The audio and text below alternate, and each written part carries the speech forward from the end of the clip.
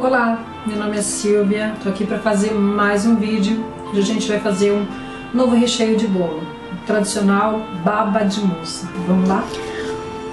Com o meu fogo desligado, aqui eu tenho um vidrinho de leite de coco de qualidade. Gente, é só coco, não adianta. Eu não vou ganhar nada com isso, mas eu preciso falar que é só coco.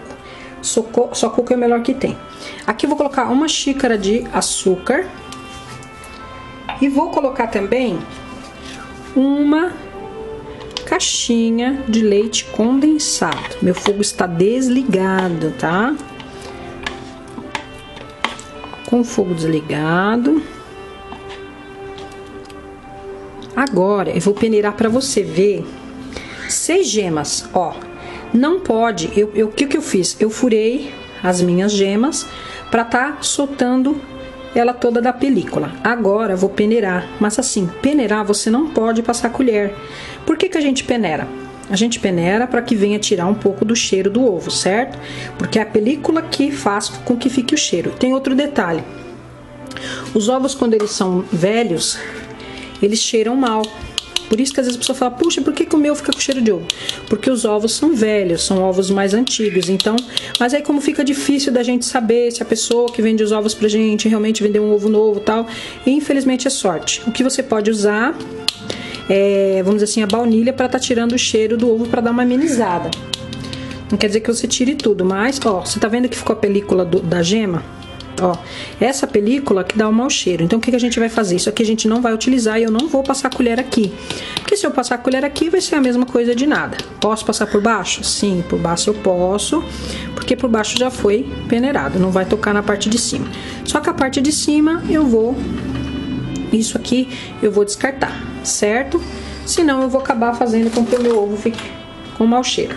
Agora, vou ligar meu fogo, vou misturar isso aqui. Vou ligar meu fogo e vou mexer até soltar da panela. Soltando da panela, é só deixar esfriar e tá pronta a nossa baba de moça. Vou ligar, ó, dá uma olhadinha. Tá soltando da panela, tá vendo? Ó.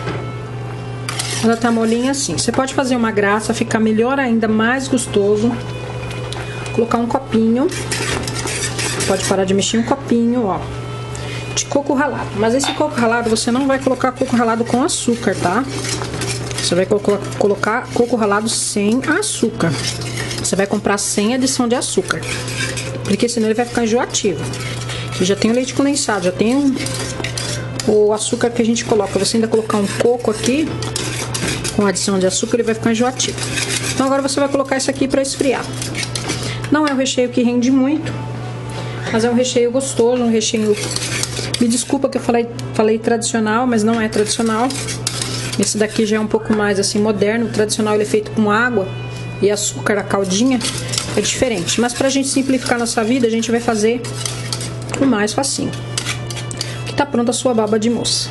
Hum, nominho feio, né? Baba Muitas de mulheres moça. já usam esse recheio, essa receita, como recheio de bolo. Já conhece, é coisa antiga.